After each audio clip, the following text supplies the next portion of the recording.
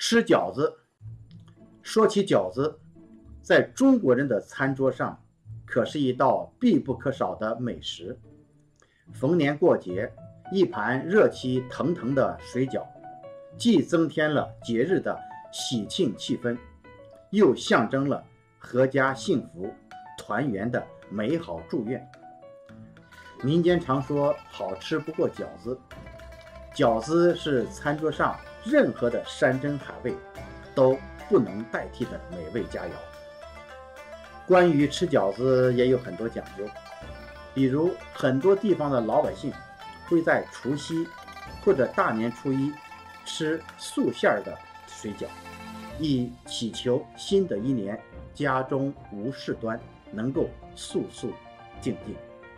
每年的年三十儿，中国人管它叫饺子。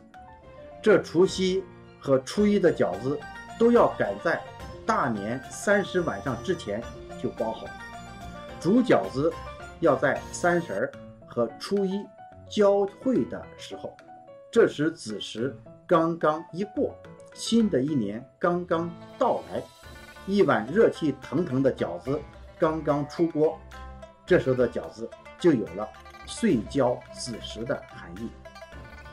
北方有些地方啊，还在饺子里面包上几枚硬币，有幸吃到硬币的人，在新的一年会财源滚滚。在过年的时候，每当儿女们回家，亲人们团聚，一家人和面、剁馅儿、擀皮儿，大家分工明确，有说有笑，包着饺子，才是真正的饺子。这一盘盘热气腾腾的饺子。伴随着千家万户的欢声笑语，传递出的是我们中国人独有的家与团圆的情怀。